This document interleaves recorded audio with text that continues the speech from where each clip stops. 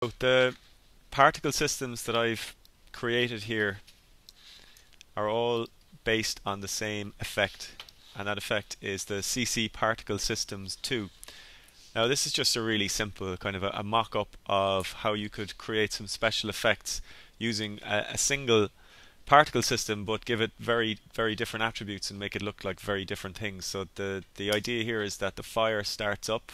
There's plenty of smoke and flames and then in comes the rain puts the fire out okay so all of this is created simply from uh, using the CC particle systems 2, with some basic modifications of the properties now there there's been no other uh, animated elements added to this uh, or any other effects. This is just down to playing around with the properties over time of the, the actual particle system. So I'll quickly go through again how you would create a particle system. Now particle systems need to be added to a layer so whenever you need to add something to a layer um, it's done through the through adding a solid to your timeline. Now the color is irrelevant here because the the solid will vanish as soon as you add the particle system. Uh, I'm going to just call this uh, simple particles and I'm going to use this to demonstrate uh, particles.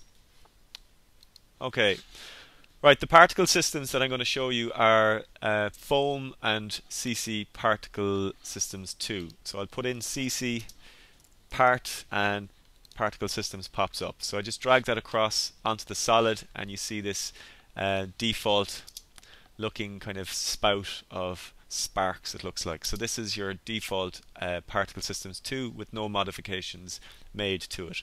Uh, you can see that the solid has disappeared and it's just left the particle system. Particle system can be uh, adapted over here in the effects and controls or you can toggle open down here if you want to do more timeline based stuff you can open up the same set of parameters down here and you can also look at your timeline and keyframe them so on the particle systems are made up of a few elements. You have the producer, you have the particle, and then you have the environment. And the environment is controlled generally through things like physics. Uh, for particle systems 2, the producer is the central point here.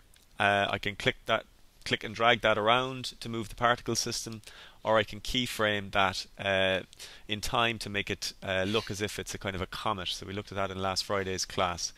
Now the particle system can be, or the producer uh, can have its shape and size adjusted as well as being moved. So I'll just go for rain here first. So what I'll do is I'll uh, width, widen the, the producer so that it spans the entire width of the composition. I can decrease the Y, it's not going to make a massive amount of difference, it was only 3 pixels.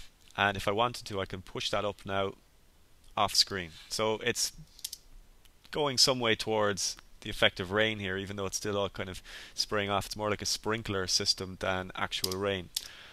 So I'll move on to the, the longevity, and if I want to shorten the amount of time that that particle is alive, then it will just be visible at the top. If I lengthen it, then it will be much thicker and visible all the way to the bottom. So I'll leave it as it was. It's fine for what I was looking for. Now the particle can be left as a line. A line is fine for what I want because it's rain, but I could change that to um, a shaded sphere, which is what I'll be using when I create fire and smoke. You can create more decorative effects such as sparkles, uh, more graphic effects, I suppose, and then you have these um, cubes and things like that that you can play around with as well, if you can find a use for a cube. Um, leave it a line. Now, the Particle can have its color change, so I will do that now. I'll make it white and I'll make it turn blue as it goes across its lifespan. So it'll start off white and it'll end up kind of a, a cyan color. Or I can make it a little bit darker. Click OK. Now you can see it's white at the top and then it gets darker towards the bottom. Now uh, its default transfer mode is just set to composite. If you want it to brighten as it um, interacts with itself, uh, as it moves across the screen, you can set it to screen or add.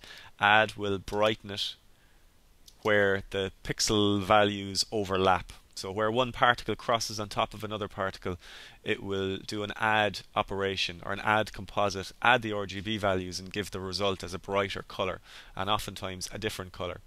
Um, the last thing that you'll change here are the physics. Now the physics um, span a lot of different properties here. So the actual animation itself starts in a particular way. So the producer will emit these particles in a particular way from the outset, and that is um, set here in the animation settings. So explosive is the default. You can change that to um, vortex. If I bring that down there and decrease the X, you'll see exactly what that vortex is doing. So it's kind of a tornado shape.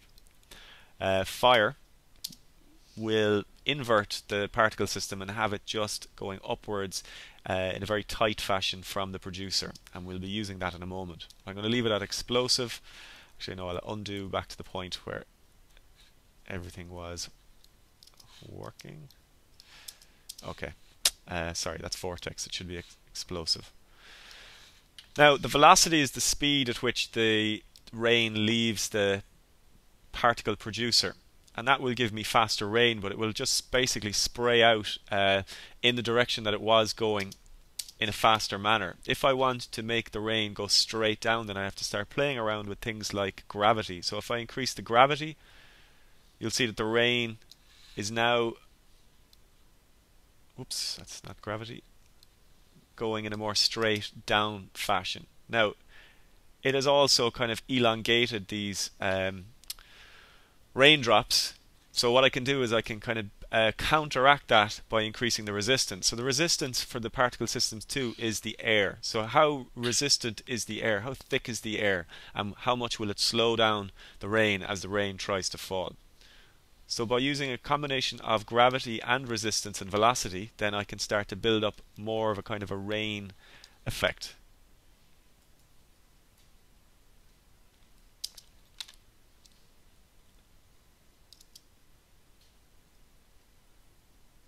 Okay, so that's the rain. Now, what I'll do is I'll just call this rain 2 and quickly move on to creating some fire.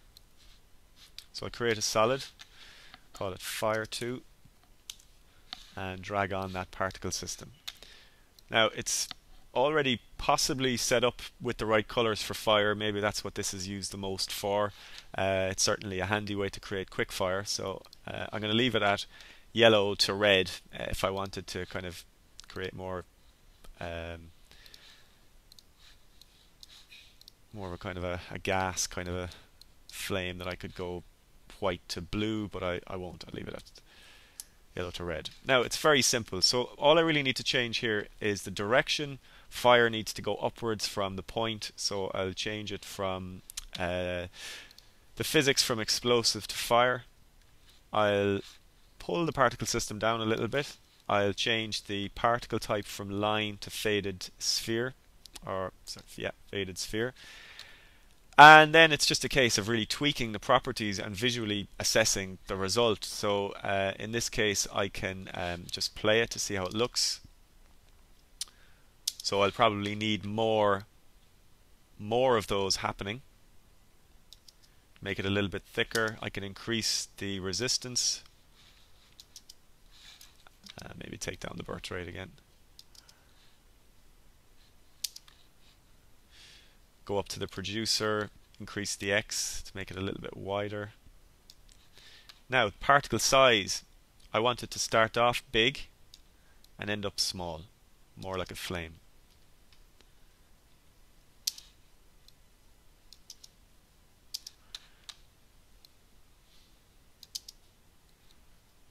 It's already starting to look more like fire. Now what I could do at this stage is decrease the the uh, or increase the gravity and the velocity and take down the resistance a little bit.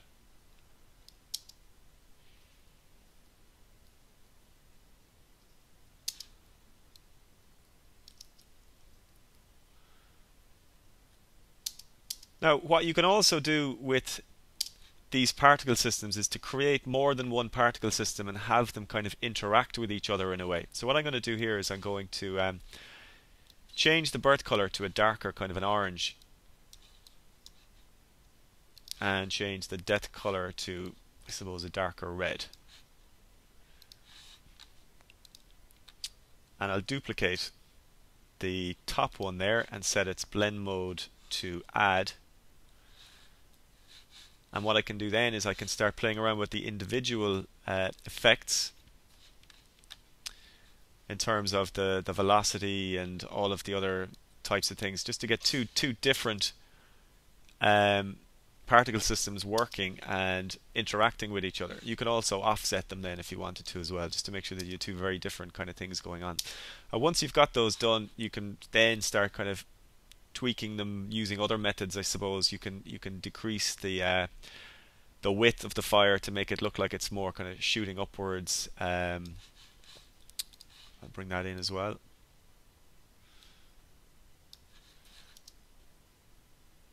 So this is looking like a kind of a raging inferno at the moment. Now, another last thing that I actually didn't do in the previous one, but which can also create some nice effects, um, is to uh, get a, a, wire mesh.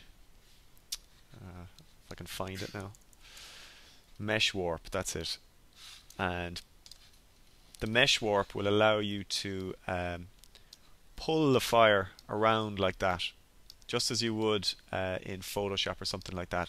Now the real strength or power of using the mesh warp isn't just warping it once because you'll see you just get a kind of a, a weird distorted effect. But if you can if you animate the um, the or if you keyframe that warping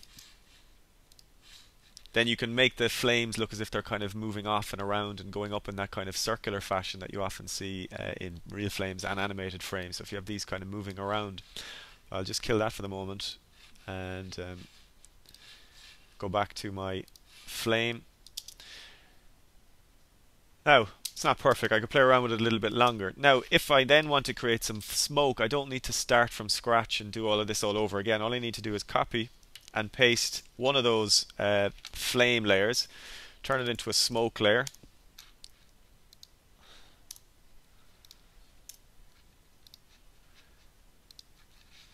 And change the color from fire color to a smoke color. And then it's all about just getting the the the longevity gravity, all of these things.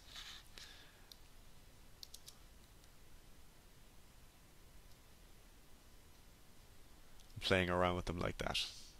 Now you could also um, increase the birth size of your smoke. Uh, might even take the color down a bit, make it more smoke-like and less, a little bit darker.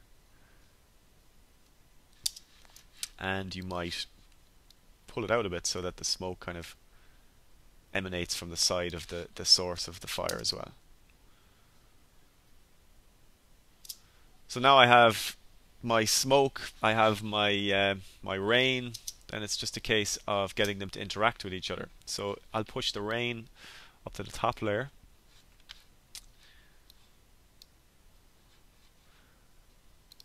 Okay, so I've got fire 1 and fire 2, so I might just pre-comp these and see if that doesn't give me any weird results. Uh, call it fire. Um, actually, no, I won't. I won't.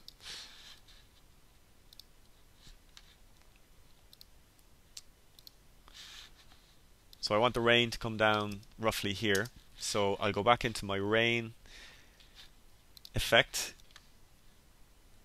and keyframe the birth rate backtrack, do a little of a, a bit of a back time animation here and bring the birth rate down to zero so that it they start to be born here and then as more are born then you get into the full birth rate. Now when that happens I need the fire to go out and then I need the smoke to go out. So that's just a case of doing the reverse uh, with these two. So I go to the birth rate here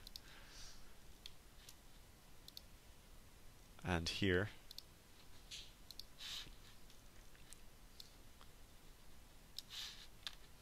bring that down to zero.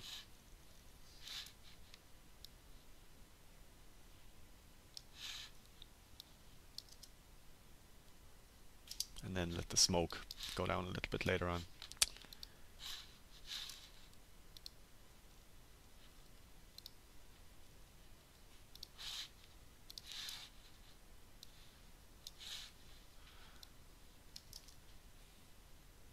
So you actually get a nice effect there if I turn off the rain, where when the smoke, the last of the, the smoke particles is born, the particle system continues, the previous particles that were born continue off on their own uh, direction. So you actually get a very realistic kind of effect of the waft or the whatever the wisps of smoke continuing on up the screen. Okay, uh, I suppose the only other thing really of importance with this particular effect is that you can have the fire kind of leap in flames if you um, play around with or keyframe the birth rate of those flames. So if you have a full-on fire with you know um, five um, flames or particle flame particles per second and then you cut that back to zero and then bring it right back up to uh, five particles per second then it's going to have the effect of the, the fire stopping and then starting again and you'll get that flame that kind of leaps up into the air. Okay that's uh, pretty much it. Um, switch these back on.